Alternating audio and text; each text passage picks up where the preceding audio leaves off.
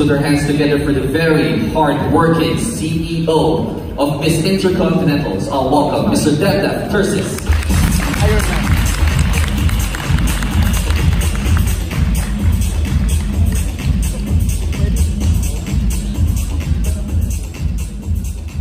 Mabuhay, ladies and gentlemen, welcome to the Miss Intercontinental press meeting. He was actually very right when he said that uh, the very hard working, this, I can tell you this is hard work.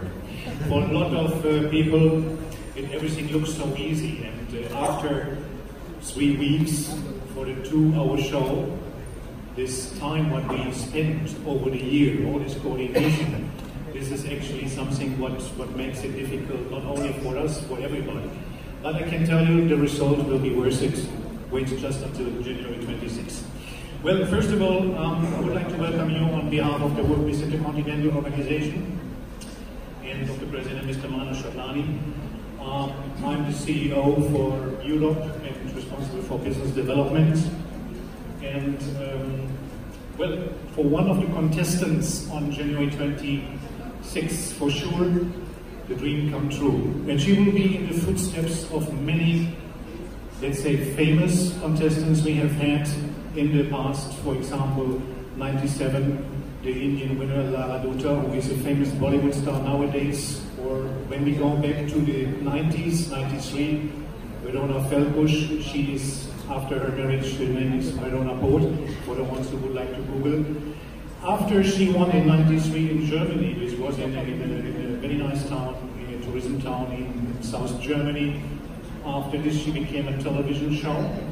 And after, or during her television show, she got offers as a commercial model with a value of 1 million US dollar per contract. And I can tell you she signed a lot of contracts. Or let's say 94, Kimberly and Myers from the United States, she was starring in Melrose Place.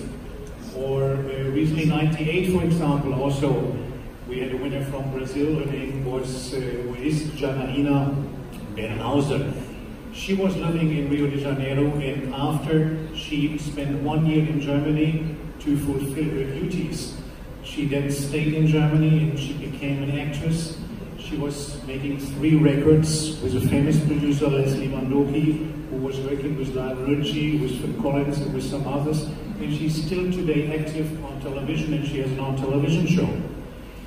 So this is a big chance for every contestant, and uh, I'm glad that today we are in the, the pageant capital of the world in Manila.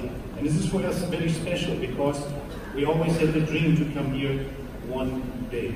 And this is only possible because of one special person who was traveling around the world last year when we had a show in Egypt. And uh, it was so funny because I met her husband the night before when I went out to go to the venue, there was a nice gentleman coming out of the golf cart of the resort with two flags, Japanese flags. And I said, you must be the, the father of uh, Kumi.